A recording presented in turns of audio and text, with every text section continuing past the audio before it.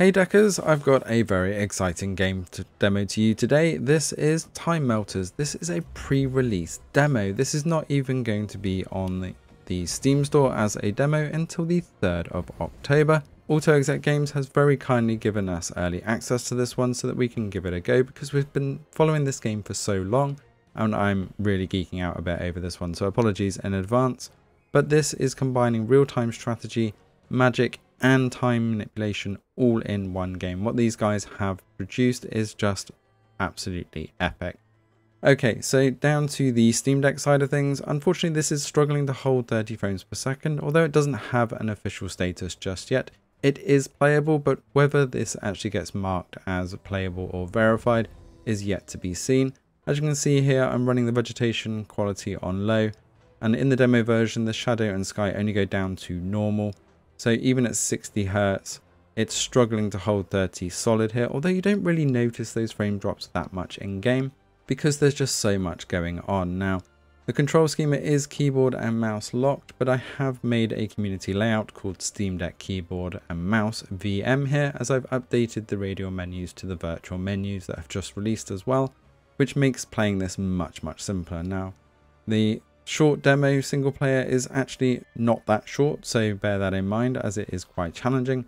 And they've also shipped with a whole bunch of challenge modes as well. And you can even play this co-op online if you can get your friends to join you on the demo as well. So really going all out for the Steam Next demo coming up. So do keep your eye out for this one. The full release is on the 12th of October. So let's dive into the gameplay a bit more.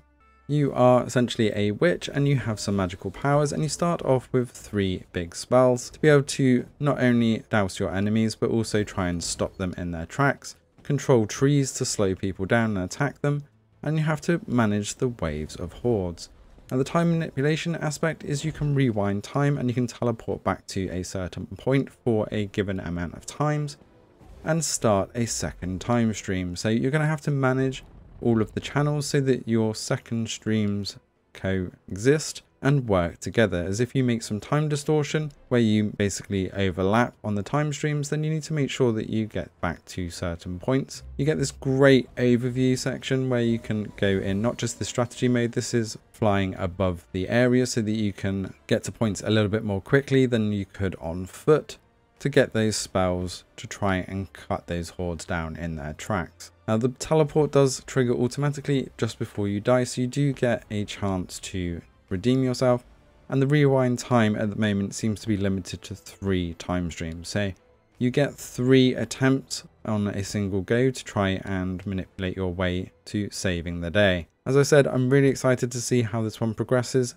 I will warn you that this is not one of the easiest games to either grasp the main concept or to actually master. This is a very difficult game. So it will take you a bit of getting used to, but I do love the challenge of these real-time strategies. So I'll leave you with a bit more of the gameplay here without me talking, so you can get a better feel for the gameplay and performance. Let us know if you're going to dive into this one. I can't wait for the full release.